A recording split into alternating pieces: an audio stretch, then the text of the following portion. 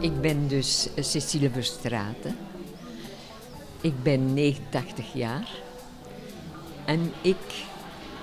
Ik weet niet wat u nadien nog gevraagd hebt. Eh, ik schrabbel. Voor mij is mijn leven schrabbel.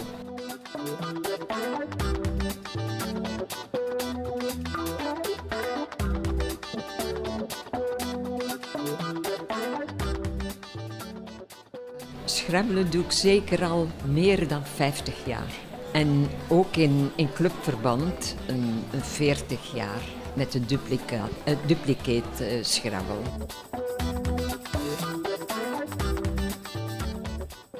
Duplicate schrabbel is helemaal het tegenovergestelde van tegen elkaar te schrabbelen. Iedereen heeft dezelfde letters of speelt met dezelfde letters. Het woord met het hoogste aantal punten wordt op het bord gezet. Bent u een competitiebest? Ja, jammer genoeg.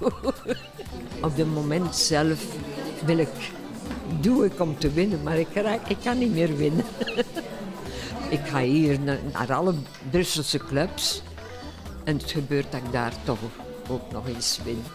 Dus ik ga daar heel graag naartoe, omdat ik over het algemeen, ik ben altijd de oudste en ik, word, ik ben nogal goed gekend door, door iedereen.